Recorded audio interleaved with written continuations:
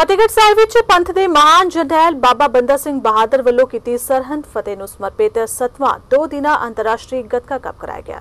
ਇਸ ਦੌਰਾਨ ਦੇਸ਼ ਵਿਦੇਸ਼ ਤੋਂ 20 ਦੇ ਕਰੀਬ ਗੱਤਕਾ ਟੀਮਾਂ ਨੇ ਸ਼ਮੂਲੀਅਤ ਕੀਤੀ।